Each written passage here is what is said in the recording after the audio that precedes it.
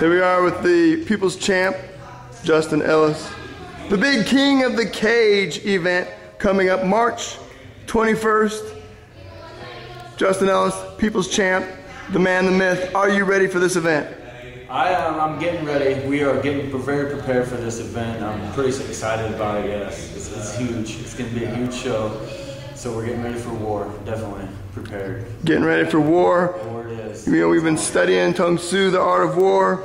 Uh, he's been working out three times a day, wrestling, jujitsu, striking, everything. I think there might have been some stick fighting the other day.